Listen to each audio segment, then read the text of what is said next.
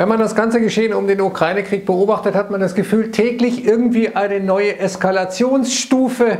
Viele, mit denen ich spreche, die sagen, ich habe irgendwie kein gutes Bauchgefühl und eine nächste Eskalationsstufe wäre ein Ölembargo gegen Putin.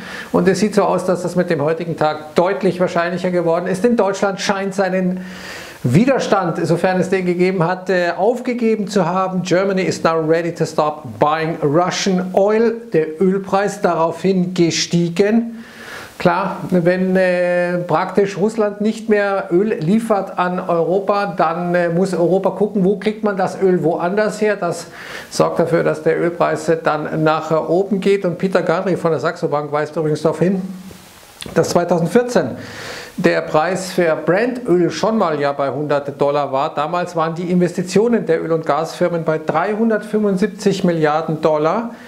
Heute sind wir nicht mal bei der Hälfte, nämlich bei 150 Milliarden Dollar. Was machen die äh, Energiefirmen? Die kaufen lieber ihre eigenen Aktien zurück, als zu investieren. Warum tun sie das? Schon auch deswegen, weil die Banken ihnen sagen, naja, guckst du, Fossile Energieträger, die sind nicht gerade gewünscht und die EZB sagt ihnen, ja, liebe Bank, du musst einen äh, Klimastresstest durchlaufen und wenn du da Kredite vergibst an solche schmutzigen Ölfirmen, dann böse, böse, böse, dann gibt das eine Abstufung, dann muss diese Bank sich teurer refinanzieren am Markt. So hängt alles mit allem zusammen. Es ist politisch nicht gewünscht gewesen und nach wie vor offenkundig nicht gewünscht, dass man eben diese Investitionen in fossile Energieträger nochmal tätigt und dann äh, wundert man sich, wenn der Preis nach oben geht. Aber so ist eben die Lage. Und wenn jetzt dieses Ölembargo kommen würde, dann würde das nicht nur uns wahrscheinlich relativ stark treffen, sondern natürlich auch die russische Wirtschaft nochmal zusätzlich treffen. Hier sehen wir mal die wichtigsten Exportgüter Russlands nach dem Ausfuhrwert und das sind 35 Prozent Mineralöl, mit Abstand der größte Posten, sonstige Rohstoffe, insbesondere Erdgas 15,3 Prozent. Also ganz, ganz klar, Öl ist für Russland viel bedeutsamer als Exportgut, als eben Gas. Wir haben hier in Deutschland das Problem, dass wir von russischem Gas bisher sehr, sehr abhängig, abhängig sind, aber nicht eher oder nicht so stark von russischem äh, Öl. Dann kommt übrigens Edelsteine und Metalle, Eisen, Stahl, Kohle, Getreide, Maschinenholz, Düngemittel, Kupfer und Kupferartikel bei Russland. Aber das würde Putin schon ziemlich treffen, respektive es würde naja, durchaus reinknallen, wenn er dieses Öl nicht mehr verkaufen würde nach Europa. Aber anders als bei Gas ist es so, dass er dann sagen kann, okay, dann verkaufe ich das eben an die Chinesen oder an die Inder.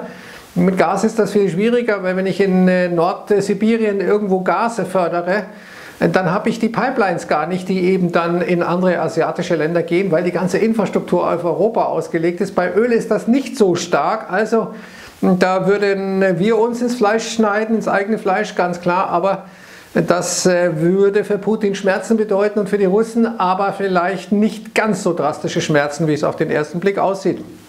Können wir woanders her eigentlich Öl bekommen? Die Frage muss man mit Ja beantworten. Äh, Venezuela ist mit Abstand das Land mit den größten Ölreserven, allerdings eher minder qualitatives Öl und die Venezuelaner teilweise nicht in der Lage, wirklich dieses Öl einigermaßen effizient zu fördern. Ja, ziemliches Chaos in dem Land. Saudi-Arabien, Kanada hat mehr Ölreserven als etwa der Iran und der Irak. Und dann kommt erst Russland hier an sechster Stelle vor Kuwait und den Vereinigten Arabischen Emiraten und dann die USA. Also in Sachen Öl ist Russland durchaus in der Champions League, aber nicht äh, sozusagen Champions League-Sieger. Da hat man äh, doch deutlich weniger Reserven, etwa nur ein Drittel von Venezuela oder auch von Saudi-Arabien. Erstaunlich eine solche Statistik. Aber was hilft? Wir haben derzeit Probleme, vor allem im Bereich Diesel. Liegt daran, dass die Leute vor allem Heizöl gehortet haben, in der Sorge, oh, wenn das mit Russland schief geht, dann mache ich mir lieber den Tank jetzt schon voll für mein Haus oder für meine Wohnung. Das war das eine. Und das andere ist, dass man für Diesel eben Gas braucht, weil äh, dieses Diesel muss äh, sozusagen kraftstofffähig gemacht werden, motorfähig gemacht werden. Das passiert mit Gas bisher. Jetzt sehen wir schon massive Diesel-Shortages, auch in den USA. Deswegen explodiert heute geradezu der Diesel-Future in den USA. Und jetzt werden manche sagen, ja, wenn es halt kein Diesel fahren, dann sollen es halt ein Benziner fahren. Nennen ist ja egal. Aber Das Problem fängt an damit zum Beispiel, dass in der Landwirtschaft diese Traktoren alles Dieselfahrzeuge sind. Und wenn die kein Diesel haben, dann können die nicht ernten fahren. Wenn die nicht ernten fahren können, dann haben wir keine Nahrungsmittel und, und, und. Das ist eine Spirale, die sich unendlich aufspult. Alles hängt mit allem zusammen. Und äh, jetzt diese Gasfrage. Das war ja auch sehr wichtig und ist nach wie vor sehr wichtig, nachdem Polen und Bulgarien ja abgeschaltet wurden. Polen wohl, weil man gesagt hat, okay, wir sind nicht bereit auf diesen Mechanismus, dass wir äh, hier auch möglicherweise in Euro einzahlen, aber dann das Ganze in Rubel umgewandelt wird. Bulgarien war ja eigentlich traditionell auch russlandfreundlich. Juniper jedenfalls sagt, okay, wir haben bisher eingezahlt in Euro auf ein Konto der Gazprom Bank in Deutschland. Wir könnten das jetzt auch äh, auf ein Konto der Gazprom Bank in Russland machen, kein Problem. Wir könnten das weiter auch in Euro machen.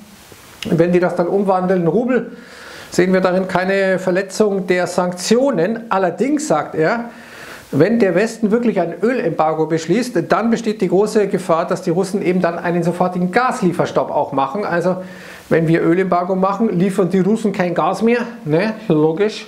Jedenfalls äh, ist das zumindest die Drohung, während jetzt auf EU-Offizielle, vor allem die EU-Kommission eben sagt, ja nee, selbst wenn ihr in Euro bezahlt und das Ganze dann in Rubel umgewandelt wird, dann sehen wir darin eine Verletzung der Sanktionen. Also es ist unendlich verstrickt, unendlich kompliziert.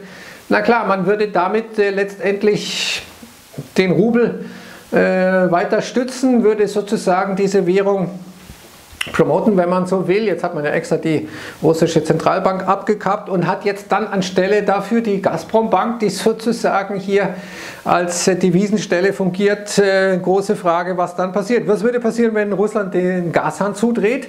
Nicht nur uns, sondern in Europa. Latvia ist hier massiv abhängig, Tschechien, Ungarn, Slowakei, Bulgarien, Finnland und dann schon Deutschland, Polen, Estland, Rumänien und Italien das nur mal ganz kurz die Reihenfolge mit dem Gas äh, oder mit der Gasabhängigkeit von Russland. So oder so, wenn der Ölpreis steigt, wenn der Gaspreis steigt, hat das Auswirkungen auf die Inflation und die ist nicht gerade niedrig. Wir haben heute die Verbraucherpreise aus Deutschland bekommen, 7,4 Prozent. Erwartet eigentlich 7,2 Prozent, also wieder über der Erwartung. Nahrungsmittel plus 8,5 Prozent, das merken wir alle im Supermarkt. Äh, vor wenigen Tagen, wenigen Wochen konnte man noch eine Butter für 1,59 vielleicht kaufen. Jetzt gibt es keine Butter mehr unter 2 Euro und dass äh, die Preise steigen, merkt man besonders am Bau, Materialmangel und Preise, dramatische Entwicklung in der Baubranche.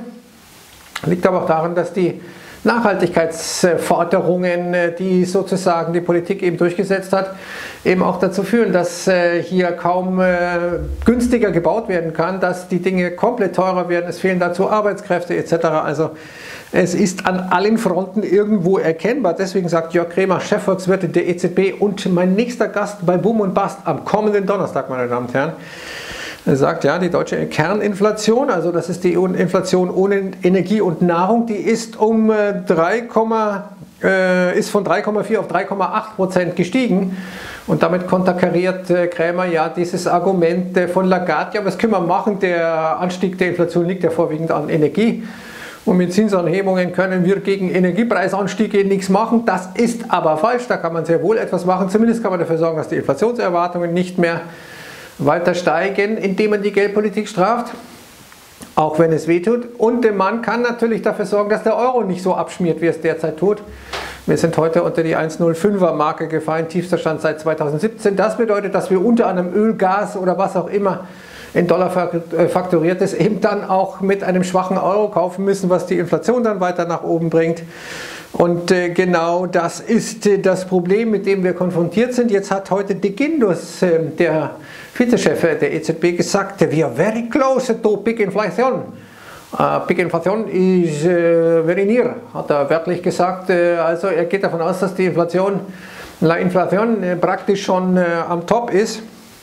Es gäbe dafür several Proxies, die darauf hindeuten, dass äh, das bereits der Fall ist. Ja, man äh, nimmt mal zum Beispiel solche Proxies wie die Erzeugerpreise plus 30 Prozent und geht davon aus, dass die Firmen dann die Preise nicht massiv anheben würden. Lindner, unser Finanzminister jedenfalls, ist da very concerned, sehr besorgt, wie er heute gesagt hat, dass die Preise dauerhaft hoch bleiben und weiter steigen. Deswegen müsste man irgendwie Haushalten helfen. Aber andere in der EZB, wie etwa Ignazio Visco, äh, der Italiener, Und der sagt jetzt, okay, wir könnten jetzt hm, vielleicht im dritten Quartal die Zinsen anheben. Also äh, ein äh, dovisches Mitglied, dazu ein Italiener, der hat da praktisch eine kulturelle DNA zu dovischen Haltungen. Ne?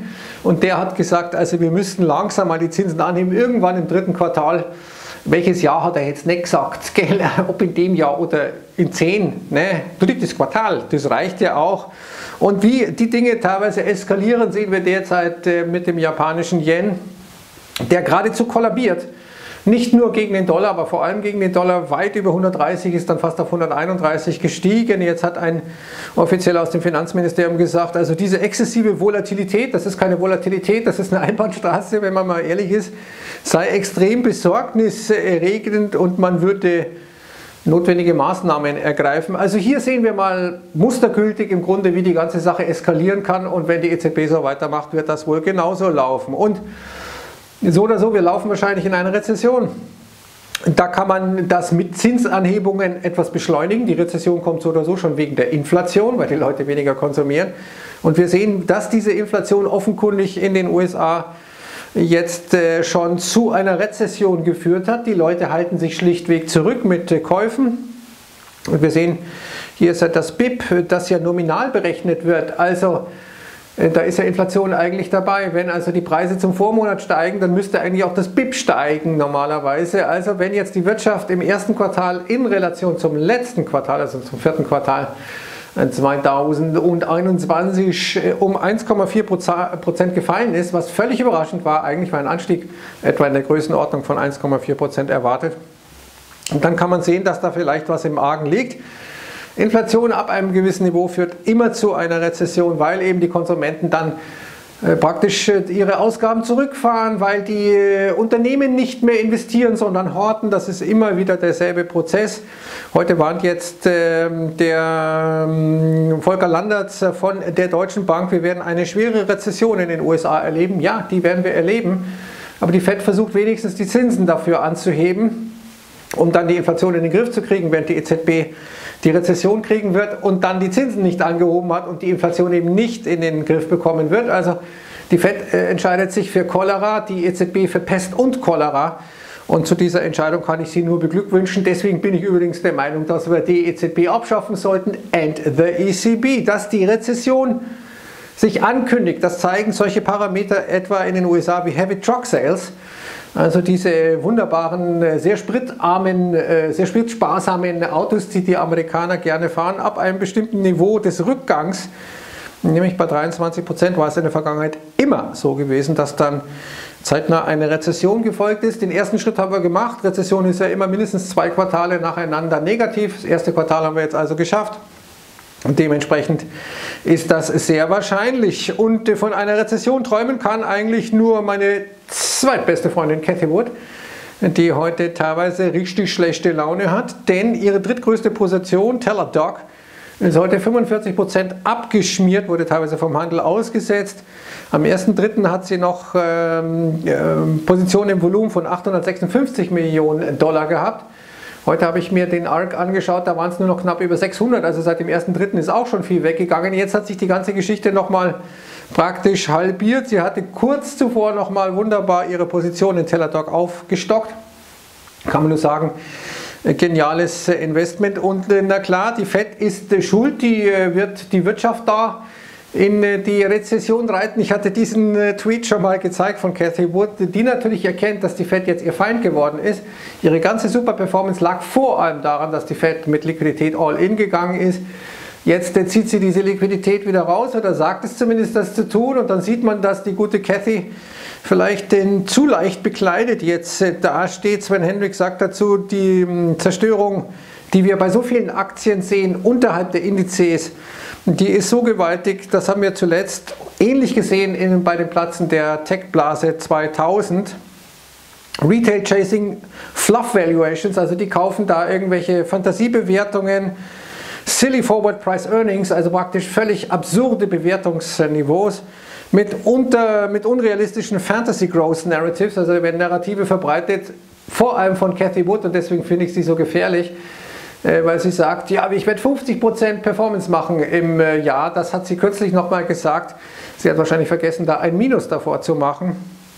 All das war, wie Sven Hennig hier richtigerweise bemerkt, encouraged by excessive liquidity, durch die Liquidität der Notenbanken. Hier sehen wir die erbauliche Performance von der guten Cathy diesen Monat schon 75% etwa nach unten gekommen beziehungsweise jetzt 71 Prozent unter den 2021er äh, Hochs. Das ist schon ein desaströser Chart mit diesem Ausreißer nach oben und jetzt geht es nach unten. Wenn wir uns andere Werte mal anschauen, ARC mit 70 Prozent mit der schlechteste, SPACs war ja auch mal ein Riesenhype, minus 55 Prozent IPOs war auch ein Riesenhype, 53 Prozent Bitcoin war auch mal, glaube ich, ein bisschen Hype, ein bisschen, weil ist ja ne, Zukunft, minus 44 Prozent und so weiter und so fort. Und heute haben wir die Apple-Zahlen, meine Damen und Herren. Apple heute deutlich im Plus, über 3% gestiegen. Aber es geht um was, auch charttechnisch. Wir sehen hier diesen Aufwärtstrendkanal. Die Hälfte der Apple-Zulieferer sind in Gegenden, die von Lockdown-Maßnahmen in China betroffen sind. Und Fred Hickey fragt hier zu Recht, naja, wir haben jetzt die Zahlen von Texas Instruments gesehen, die äh, schon darunter leiden, dass viele chinesische Konsumenten nicht mehr kaufen. Äh, wer jetzt in Shanghai im Lockdown sitzt, äh, kauft normalerweise auch kein iPhone, aber jenseits der Frage der Zulieferer. Aber bei Apple sagt er, da glaubt man, dass das alles anders ist. Und Apple hat eine Marktkapitalisierung von 7% des SP 500. Also wenn die hm, ein bisschen Probleme bekommt, dann äh, ist das durchaus auch für den Index wichtig, vor allem für den Nasdaq 100 wichtig. Apple hat jetzt ein KGV von 26 bei einer Marktkapitalisierung von 2,6 Billionen. Über Cathy Wood und äh, meinen dritt- oder viertbesten Freund Alan Wood habe ich heute einen Artikel geschrieben, wo ich so ein bisschen die Tragik äh, beschreibe. Erst hatte Cathy kein Glück jetzt seit Jahresbeginn und dann kommt auch noch Pech dazu. Äh, da hat sie es ganz böse erwischt. Erste Empfehlung unter dem Video. Zweite Empfehlung, ein großartiger Artikel meines Kollegen Georg Habe, nicht Geld oder Leben. Fratscher und die Banalität des Ambitiösen. Sie kennen vielleicht Hannah Arendt, äh, die äh, damals über den Eichmann geschrieben hat im Auschwitz-Prozess, die Banalität des Bösen. Und hier haben wir eine Art Banalität des Ambitiösen. Äh, Untertitel Wer grün wählt und dabei nicht weiter nachdenken will, wird durch Fratschers Buch äh, geradezu bestätigt. Äh, das ist vergleichsweise die Sache auf den Punkt gebracht. Das sind solche Allgemeinplätze bei ähm, Fratscher, dass einem fast schon die Spucke wegbleibt und mein Kollege hat da herrliche Worte dazu gefunden. Also zwei Artikel, meine Damen und Herren, unter dem Video und dann 22 Uhr, ab 22 Uhr werden wir die Zahlen bei Finanzmarkt Welt von Amazon bringen. Und 22.30 Uhr noch wichtiger die Zahlen von Apple. Also da reinschauen und diese beiden Artikel. Ich sage Servus und Ciao.